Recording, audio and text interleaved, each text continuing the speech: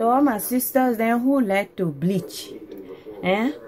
Y'all who black black like me y'all like to bleach eh?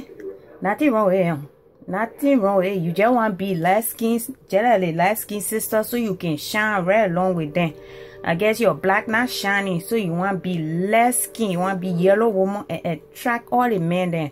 Nothing wrong with that. I guess light skin are beauty to you, so nothing wrong with that. They got Google product then these days they making that can make you very light skin.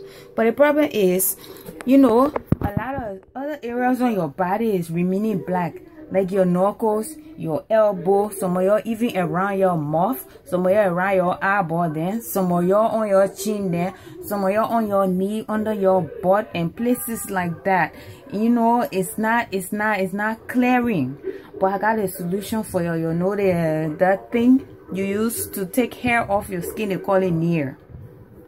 Buy a bottle of Nair, right? Put it in a bowl. Squeeze some in a bowl. And the other cleaner they use, Usually people use it to scrub the bathtub. They call it Comet. Buy some Comet. Put some on top of the, the Nair in the bowl. And then you take a little, a cap of bleach. Put it in. And then take some uh, cap of laundry soap. Put it in. And take some dishes soap and put it in you put a little bit of water in and then you take some olive oil add it so it won't burn so bad you mix that mixture up very concentrated and strong i swear it will scrub the black off of you. But you just don't rub it right? You just don't rub it. You buy a patch scrubber. This you can find anywhere very cheap and affordable and on any budget. If even if even your own food stamp especially you go to the african store they, they will they will get they will give you this on your food stamp because the african people they're crooked. They gotta make their money. They will give you this on food stamp go and get a patch scrubber. If you like you can get the african version set. Go and get a you know the african version where they make it off right? Those those wire screen from back home that's what they make. Yeah but you can go get this patch, patch scrubber even from the dollar store. It's very cheap and affordable on your budget.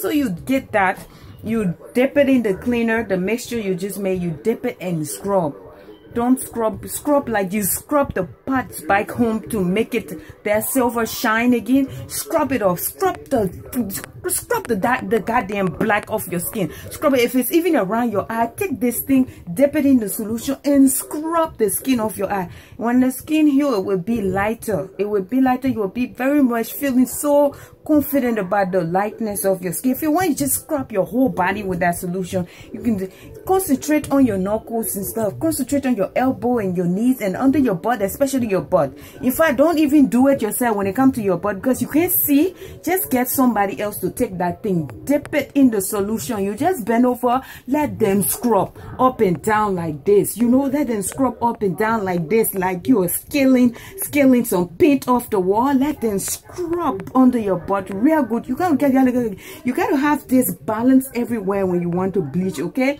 So you do that solution take the bath scrubber and scrub every area that is still being stubborn and the black is not coming up. Scrub it i promise you you will call me and give me your testimony. No joke. No joke. Try it try. It you want to be light right? You have to do it and let your whole body be even. Same color. Mb is not going to do it for you. And the the bleaching cream you are using it's not going to do it for you. Take my take take take these steps okay? Take my method and just try. It just try. It i bet you you will come back and comment and tell me it worked